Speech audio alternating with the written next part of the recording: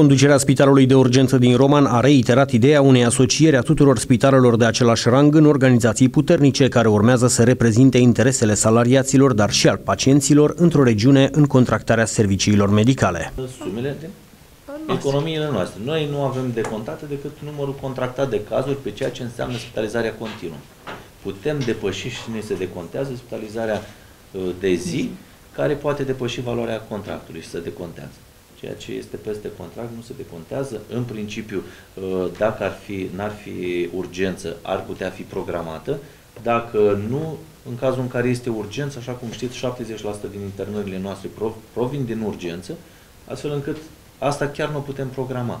Este o discuție care am avut-o chiar uh, uh, ieri cu anumite persoane implicate în activitatea medicală, e un lucru care și o idee importantă în care să ne asociem spitalele și să negociem altfel contractele sau modul în care se pun în dezbatere publică contractele de, uh, cu Casa de Sănătate. Trebuie făcute pe realitatea din uh, teren, nu să le să facem că nu suntem la normă, nu putem face o normă, ceea ce înseamnă partea de urgență nu o putem prevedea. Cele mai mari cheltuieli provin din internarea urgențelor, care ulterior se transformă în internări continue, serviciile medicale nemai fiind decontate de Casa Județeană de Asigurări de Sănătate.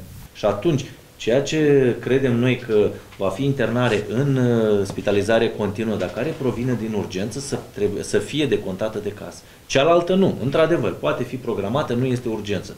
Dar ce vine din urgență sunt aceste cazuri pe care dumneavoastră le semnalizat și care noi trebuie să le suportăm, nu le mai decontează nimeni?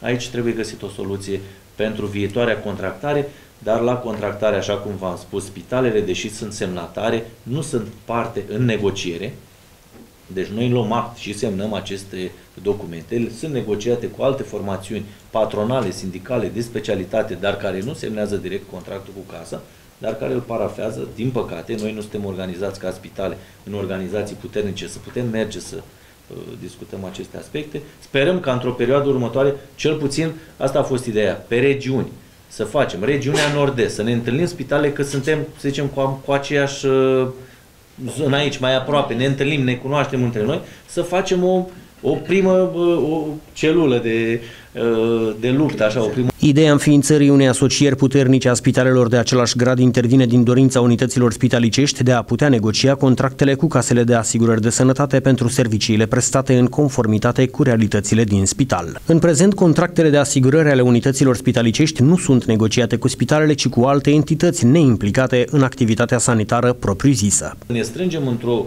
într-o adunare în care să putem cere, să ne spunem și noi păsurile, să venim cu problemele noastre din zona uh, fierbinte să, și să le ducem la cei care uh, creionează, dau forma normelor de contractare și a contractului cadru pentru a elimina anumite clauze care le considerăm abuzive, anumite lucruri care nu sunt tocmai conforme cu realitatea sau cu ceea ce se întâmplă în uh, activitatea medicală.